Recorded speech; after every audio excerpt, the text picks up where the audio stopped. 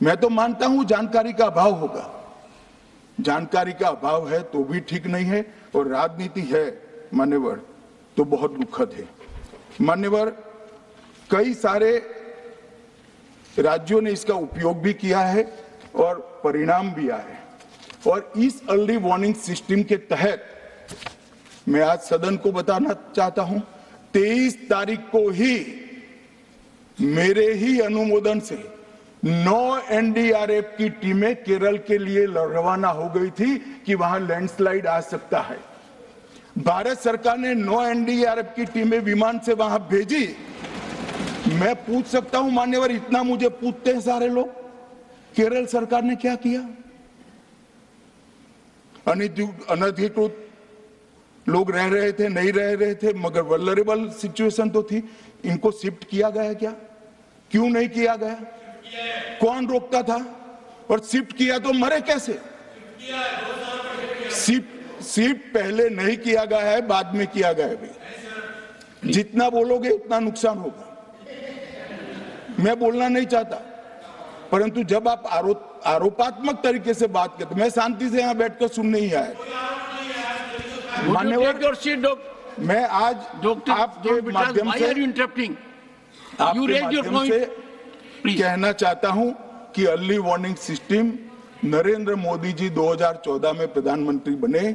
2016 से ये प्रोजेक्ट चालू हुआ और 23 तक दुनिया की सबसे आधुनिक अर्ली वार्निंग सिस्टम कहीं पर है तो भारत में। और इसका सात दिन पहले सात दिन पहले इसका अनुमान देने वाले चार ही देश है उसमें से एक भारत है। मगर उसको पढ़ना पड़ता है। डिमांड करने से कुछ नहीं होता।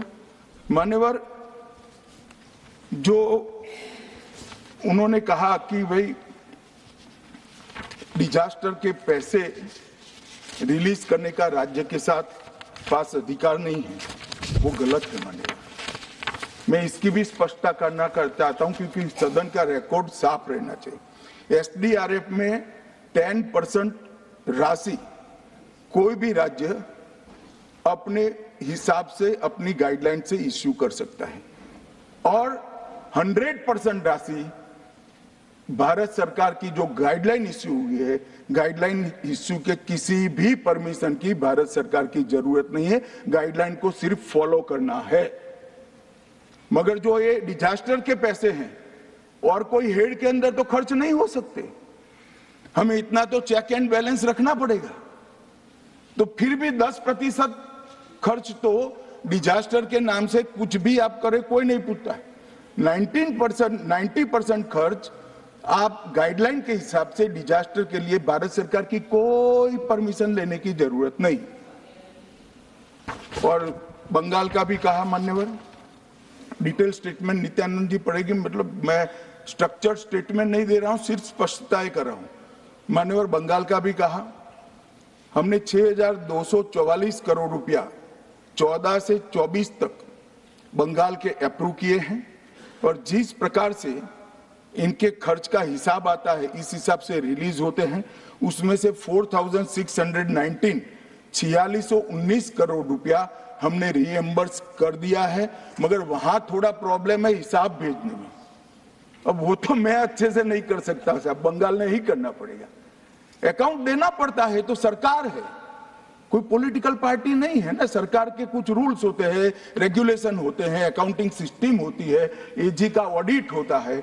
हम किसी को नहीं मानेंगे तो थोड़ी तकलीफ़ आएगी। मगर धीरे धीरे आदत पड़ रही है इंप्रूवमेंट आया है, इसीलिए बासठ में से छियालीस करोड़ रुपया इनका रिलीज़ हो चुका है। और मैं फिर से कहना चाहता हूँ, मान्यवर अर्ली वार्निंग सिस्टम दी गई थी। इसीलिए तेईस तारीख को हमने एनडीआरएफ की नौ बटालियन वहाँ पर, एक सेकंड हाँ। नौ बटालियन वहाँ पर हमने भेज दी थी और तीन कल रवाना करी है। एनडीआरएफ की बटालियन उतरने से भी अलर्ट अगर हो जाते तो काफ़ी कुछ बच जाता।